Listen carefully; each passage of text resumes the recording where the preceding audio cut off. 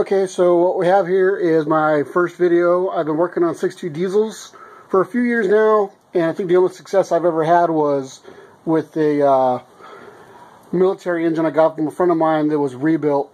So what I'm doing here, um, I've been having injection pump problems because I've been using vegetable oil and waste automatic training fluid, hydraulic oil, pretty much any industrial oil that'll thin out with gasoline. I, have even I've even managed to uh, uh, reclaim uh, old diesel.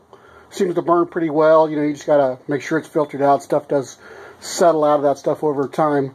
But uh, what I've got here is an injector tester.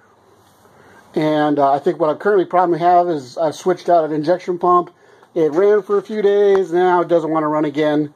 And so I kind of looked online to see what the injection injector testers were, and it really looked to me like it was simply a, uh, a hydraulic hand pump with a high pressure gauge. This one goes up to, uh, I think it goes up to 5,000 amps, right? And uh, all I managed to do is just go from the fittings out down to a quarter inch hardline fitting, and I'm using a recovered uh, injection line. And so what I've done is just uh, kind of bled the line and I'll just go ahead and I'll pump it up and capture it.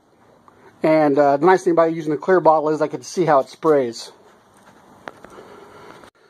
So instead of uh, actually using a clear bottle to catch the spray this time, I'll go ahead and I'll just kind of show you guys how I'm just kind of barely getting it pumped up. I should still be tight here. And I'll just go ahead and spray into the bucket. Oops, got to tighten, got to tighten the relief valve. And it'll start showing a little pressure on the gauge, about a thousand. And I guess you were supposed to be looking for no drip. Uh, a bunch of the old injectors I've tested, like pumped up, but never sprayed at all. But all the good ones I've been I've been uh, testing seem to spray really well. This guy looks like it's got kind of a straight spray. The other ones have like more of a wide conical spray.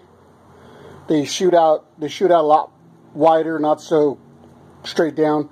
But uh, I mean, this is better than what I have been using. So that's just what I've done. I mean, the injector testers they have on eBay are really purpose built. But this one, I think I managed to cobble it together for like 13 like $13 in fittings, and I think the pressure gauge is like 10 or 15 bucks.